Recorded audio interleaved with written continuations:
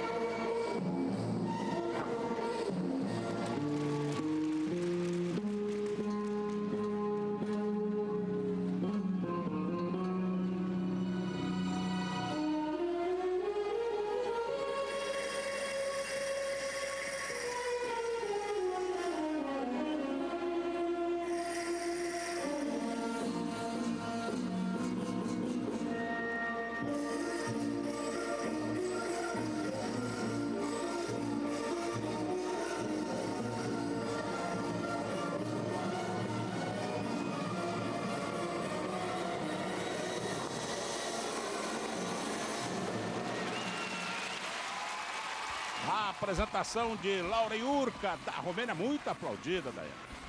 Uma série bem firme, uma boa série da Yurka. Agora é esperar a nota, né? Acho que fez o seu papel na competição, encerrou agora com a prova de solo. Ela parece feliz, satisfeita com, com a série.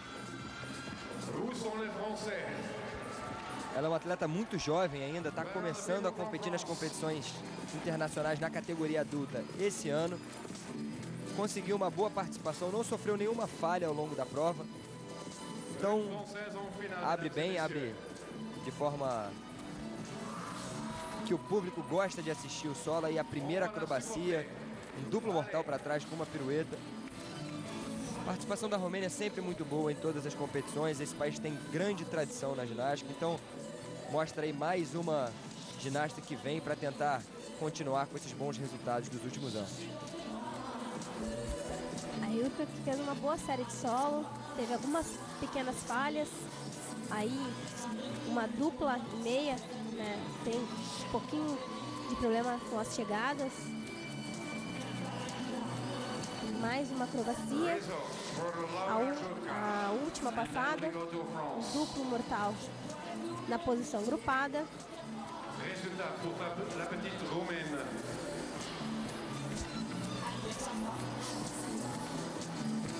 E aí, a finalização.